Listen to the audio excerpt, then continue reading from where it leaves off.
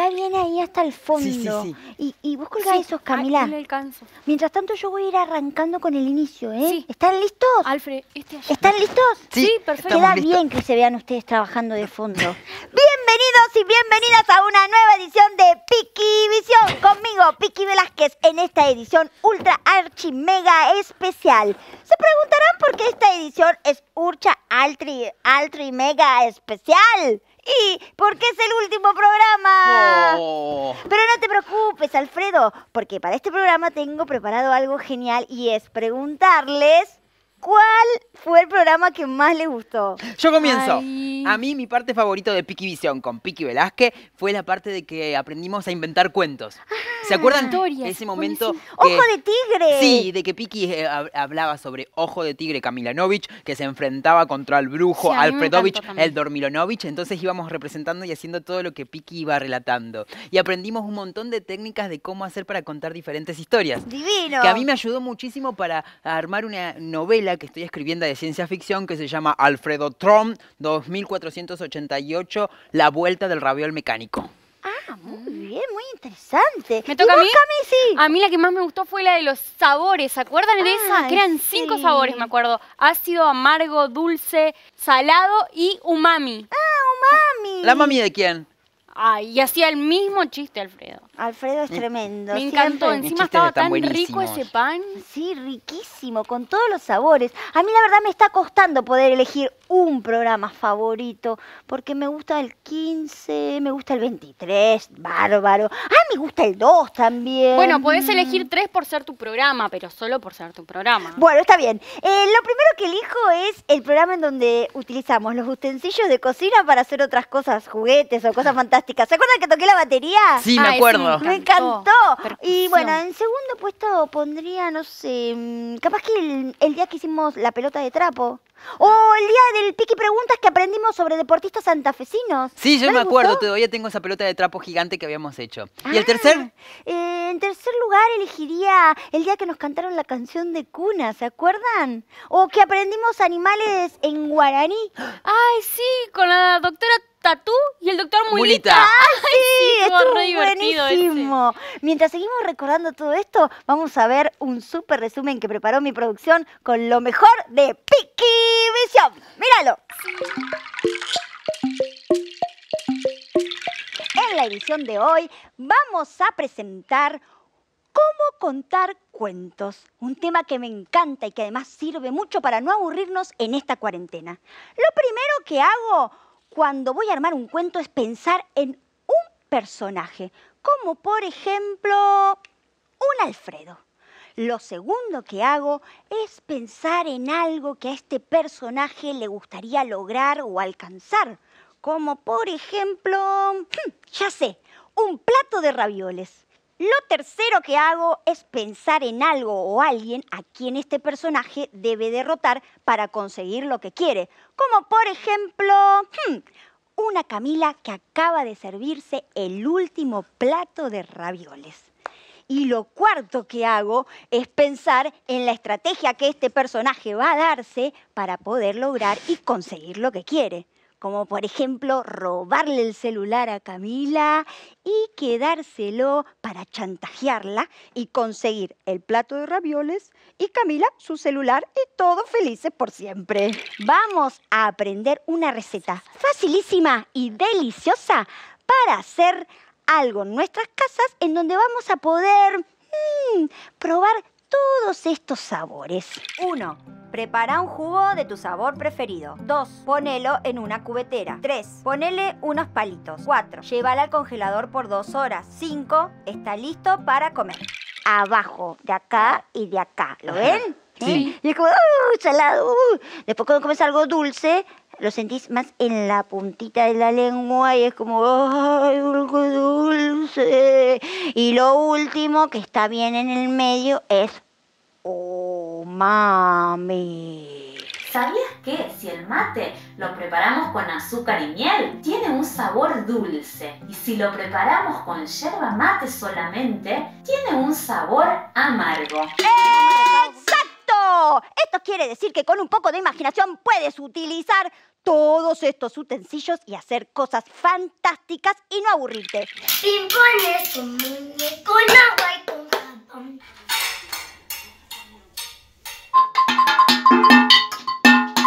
Adiós. Antes de que sigamos hablando de nuestras armas secretas, vamos a ir a ver un... ¿Sabías qué? ¿Sabías que Félix, un nene de 9 años, recibió de regalo para su cumpleaños un títere hecho por su papá? Tan especiales eran para Félix que cuando cumplió 17 años y se fue a estudiar, se llevó sus preferidos. Para hacer esta pelota de trapo no necesitas muchos materiales, solo papeles de diario y los retazos de telas que tengas. ¡Que te diviertas! ¿Sabías que con todos los trapos y trapitos que hay en casa dando vueltas, podés crear, imaginar y hacer títeres, muñecos para jugar? Mira, yo junté un montón de tiritas y armé un pulpo con muchas patas. ¿Sabían que la música autóctona del litoral tiene instrumentos que son característicos? Como por ejemplo el arpa paraguaya, el acordeón y también la guitarra criolla. Hay secretos chiquititos que te invitan a jugar. Y hay secretos tan enormes que te vienen a asustar. Hay secretos livianitos que te llevan a volar.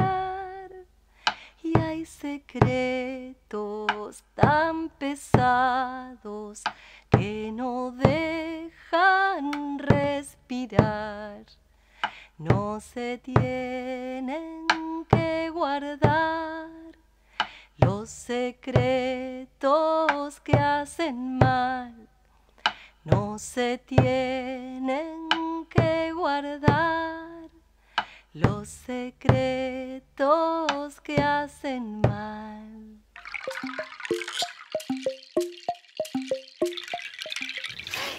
Impresionante el informe sobre Pikivisión! ¡Qué cantidad de cosas, ¿no? Muchísimas cosas en tu programa. La verdad es que Piki Visión con Piki Velázquez fue un éxito. Fue increíble tu programa, Lo Piki. más de lo máximo, me encantó. Les voy a hacer una pregunta. Si ustedes tuviesen que decir, por ejemplo, qué es lo que aprendieron en Pikivisión con Piki Velázquez, ¿qué dirían? Eh, Yo diría que podemos hacer un montón de juegos con todo lo que tenemos alrededor nuestro y que puede ser re fácil. Solo necesitamos ganas de jugar, de inventar y usar nuestra imaginación.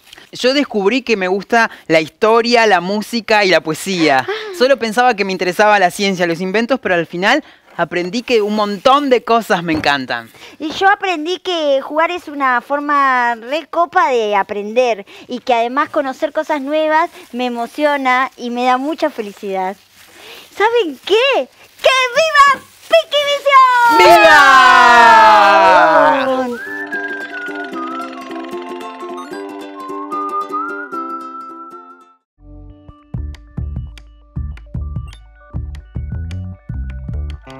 ¿Ves esta piñata que yo estoy haciendo? Se llama piñata mexicana, ¿viste?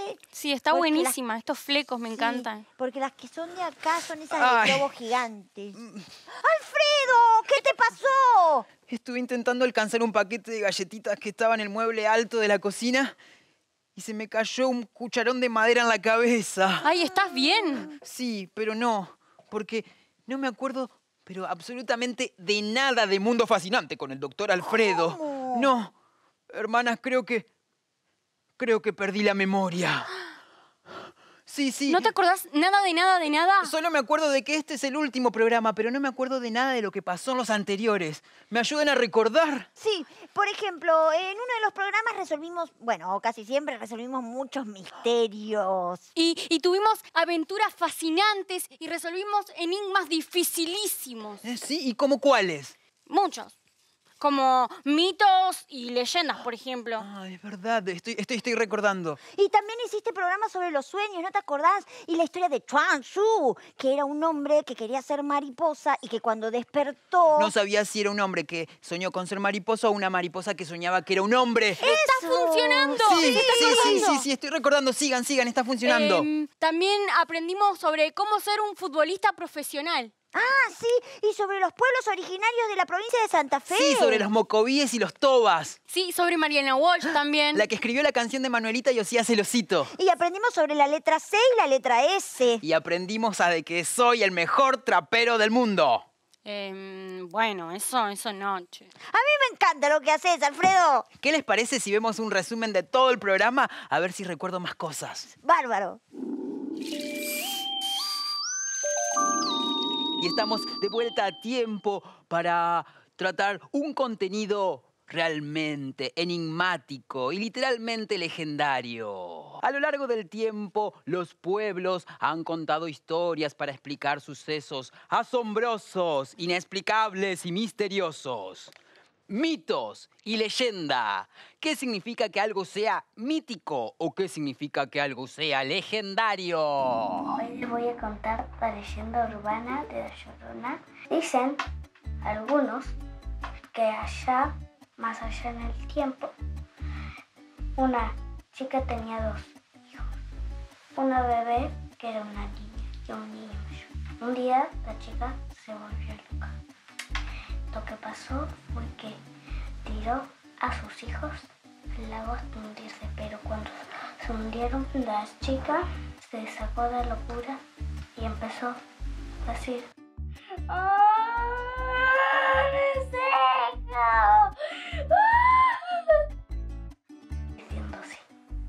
Hola chicos, ¿ustedes sabían que antiguamente la ciudad se llamaba Santa Fe de la Veracruz? Cuando Santa Fe se termina de trasladar a su ubicación actual, fue el día 3 de mayo de 1651. El 3 de mayo es el día de la Santa Cruz y por ese motivo se de- decide bautizar a la ciudad de Santa Fe como Santa Fe de la Veracruz.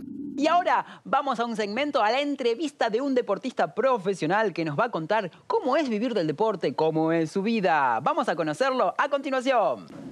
Hola a todos, yo soy Valentina Ponce y juego al fútbol en Unión. Juego al fútbol porque me gusta muchísimo y porque lo disfruto. Y arranqué cuando tenía entre 5 y 6 años. Empecé pateando con mi papá y, y jugando con mis dos mejores amigos. Y lo que tengo para decirle a, a los chicos que están mirando esto o a cualquier persona que lo esté mirando es que si tienen algún sueño o si hay algo que les gusta hacer mucho, alguna actividad, eh, háganla, no importa que diga el resto, y no lo hagan para superarse o para, o para ser mejores en lo que hacen, sino que háganlo porque lo disfrutan, porque, porque les hace bien y, y porque son verdaderamente felices haciendo eso.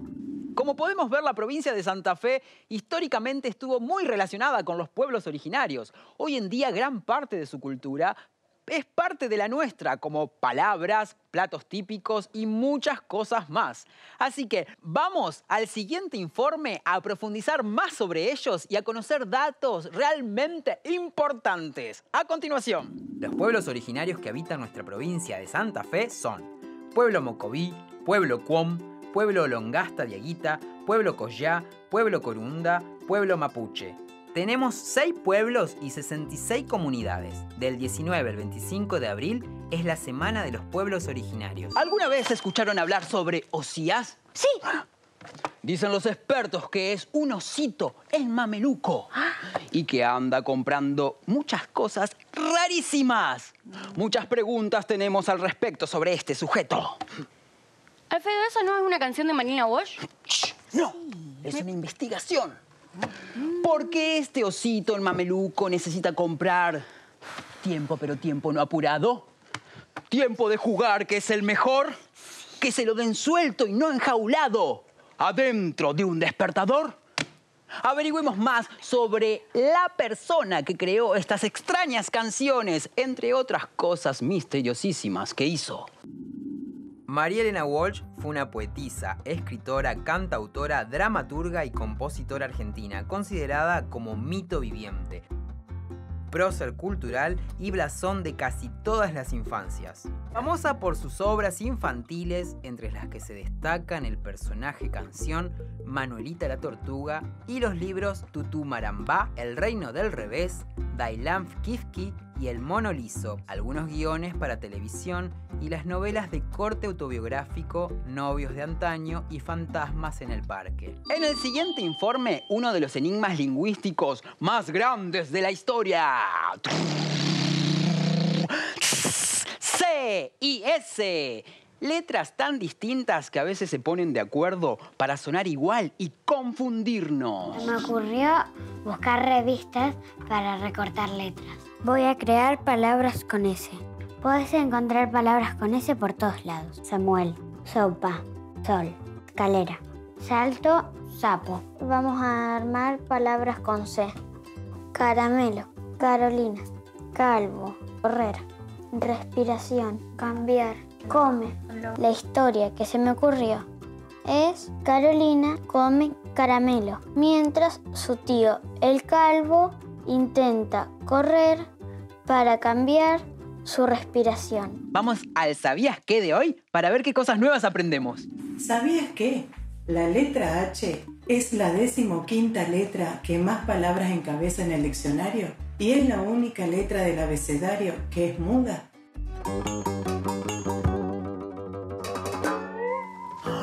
Creo que recordé todo. Ay, Alfredo. Sí, se me pasó. Yo Volvió sabía la que memoria. Sí, yo sabía que era mentira eso. No, no, no, es- perdí la memoria. Yo creo que Mundo Fascinante con el doctor Alfredo fue el programa más fascinante de todo. No entiendo por qué, de forma unánime, no decidimos que soy el mejor trapero del mundo. Bueno, les voy a hacer una pregunta. ¿Qué cosas importantes aprendieron de mi programa? Yo aprendí un montón de cosas. Por ejemplo, aprendí sobre historia, geografía y aprendí que me encanta un montón la cartografía. ¿Y vos, Piki? Yo aprendí sobre aventuras y sobre misterios, que eran todas cosas que me daban miedo antes. Pero me di cuenta que aprender es una aventura re emocionante. ¿Saben lo que aprendí yo? Mm, ¿Qué? Ya sé, que sos el mejor trapero del mundo. ¿Lo soy? La verdad que no trapeas tan mal, Alfredo. Hay una canción que me gusta mucho que se llama Beltrapno. Esa es la que Manuel creaste. Beltrano. Ah, está buenísima. A mí me gusta un montón tu trap de los ravioles con tuco. ravioles con tuco, ravioles. Yo sabía que ustedes eran mis más grandes fans, a escondidas, pero lo son. Voy a trapear entonces. Ravioles con tuco, Ravioles ravioles con tuco, ravioles se con encuentran tuco, con la princesa mami. milanesa. La princesa milanesa era yo. Sí, princesa, princesa milanesa.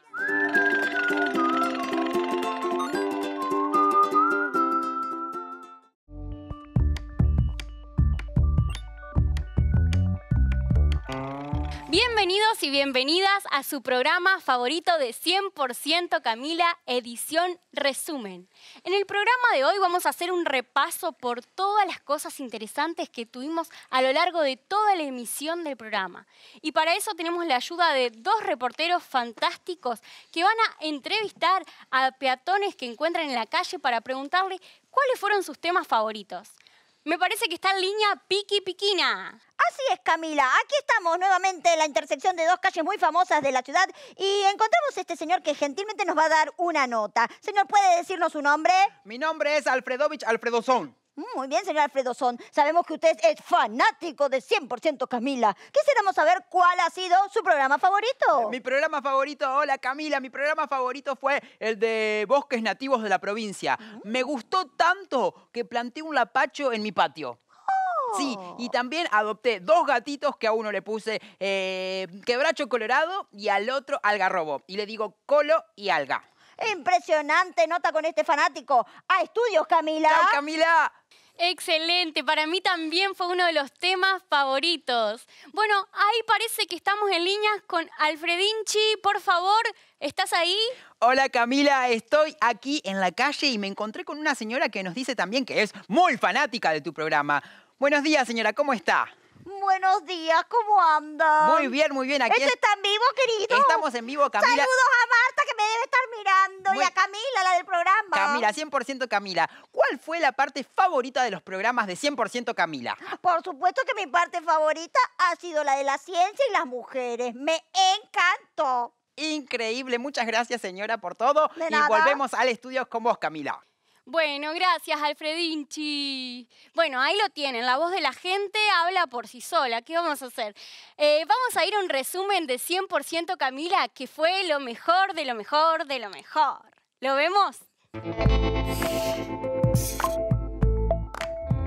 En Argentina existen cinco grandes grupos de bosques nativos. Son los bosques andino-patagónico, la selva misionera, la selva tucumano-boliviana y en la provincia de Santa Fe existen dos grandes grupos de bosques. Uno de estos son el Parque Chaqueño y el Espinal. No nos demoramos más y vamos con Alfredo que nos va a contar un poco más acerca de este maravilloso lugar. Hola Camila, sí, estoy acá en el Parque Chaqueño y estoy rodeado de un montón de árboles distintos. Por ejemplo, hay quebracho colorado, quebracho santiagueño, duraznillo, chañar, algarrobo y lapacho, que son de mis favoritos. Bueno, volvemos al estudio porque eh, eh, hace mucho calor. Todo el tiempo está circulando por las redes noticias que creemos que son reales, pero en realidad son mentira. Con la cantidad enorme de medios de comunicación, redes sociales y formas de comunicarnos informalmente, lo que hacemos es buscar por cualquier medio y no corroboramos si esos medios son confiables. Actualmente escuchamos hablar mucho de fake news, pero este término no es reciente, ¿sí? Las fake news existen desde hace mucho tiempo y se utilizan especialmente para manipular a las masas de personas sugestionándolas con diferentes hechos. Hoy vamos a aprender a diseñar y a programar videojuegos. Una profesión excelente que en el último tiempo ha avanzado muchísimo gracias al desarrollo de tablets, computadoras y consolas. Pero ¿sabemos qué es diseñar y programar un videojuego?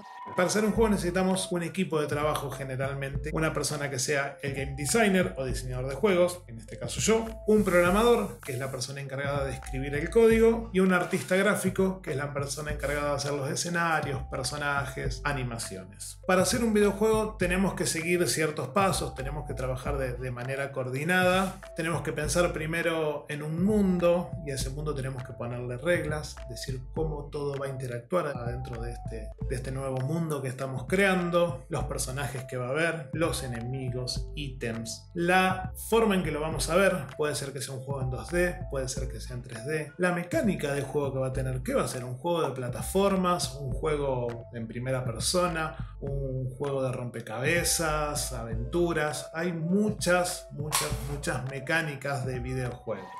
Cantidad de cosas maravillosas que están haciendo las mujeres científicas, ¿no? Sí, pero la verdad que no entendí ni la mitad de las cosas que hacen. Me estaba preguntando quién habrá sido la primer mujer científica en la historia. Liz Meitner nació en Austria en 1878, doctora en física. Trabajó en el equipo que descubrió la fisión nuclear. Edith Lamar, la mujer más hermosa del mundo que inspiró a Walt Disney para su personaje de Blancanieves, era también ingeniera e inventora. En el programa de hoy vamos a hablar acerca de la importancia de cuidarnos a nosotros mismos y cuidar a los demás. Esto a través de dos herramientas muy simples pero muy poderosas al momento de comunicarnos con nosotros y con los demás. Ellas son el autoconocimiento y el respeto por las diferencias. Para mí, el respeto se refiere a saber valorar a los demás con su distinta cultura, raza, religión, color de piel y reconocer las necesidades del otro y tener consideración por el simple hecho de que esos son personas y merecen el mismo respeto que todos. El respeto y el cuidado son dar y recibir buen trato de las personas sin discriminación por su cuerpo, su color de piel, su género, su orientación sexual ni su forma de ser. Una de las agrupaciones de derechos humanos más importantes surgidas durante la dictadura militar son las abuelas de Plaza de Mayo. Qué valientes las abuelas, ¿no? Sí. Esta agrupación fue formada durante la dictadura de Jorge Rafael Videla. Ellas comenzaron a reunirse en la Plaza de Mayo de la ciudad de Buenos Aires en abril del año 1977. Identificadas por los pañuelos blancos, las abuelas son un ejemplo de lucha y compromiso por los valores de memoria, verdad y justicia. Mi hija estaba embarazada de cinco meses cuando se la llevaron. Mi nieto tiene que haber nacido en agosto del año pasado. Hasta ahora no he podido saber nada de él. Lo único que sabemos es que los chicos nacen, pero se los, eh, pero se los dejan en los establecimientos así, este, casas cunas con NN. Si una persona de nuestra sociedad tiene la identidad cambiada, también la tiene cambiada la sociedad toda. Me parece que esa es la gran enseñanza de las abuelas, poder transformar el dolor en lucha colectiva.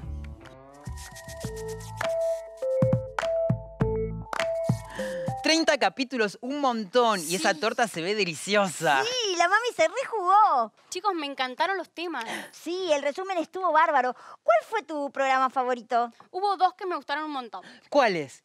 Uno fue el programa del Día Nacional de la Memoria por la Verdad y la Justicia Mm. y el otro el de expresión corporal. Amén. A mí también me encantó ese. Sí. La verdad que me gustó mucho hacer este programa. Viste, te dijimos que íbamos a aprender y a divertirnos un montón. Y esta misión contra el aburrimiento fue un éxito. Sí, quiero decirles algo. Yo ya tengo lista la lista de temas para la próxima temporada de Piki Visión. Yo también tengo lista la lista, Piki. ¡Y yo también! ¡Es buenísimo! Tenemos que además agradecer a nuestros televidentes, porque sin ellos nada de esto hubiese sido posible. Y a la mami que nos fue a buscar el cuadernillo a la escuela. Sí, queremos agradecerles por acompañarnos en estos 30 programas. Y decirles que si quieren, pueden seguirnos en nuestras redes, en Facebook, en Instagram o en YouTube.